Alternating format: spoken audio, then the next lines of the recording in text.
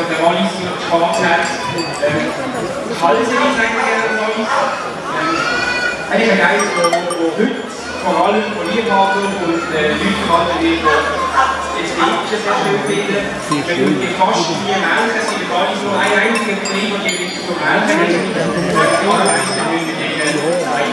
Schönen Morgen.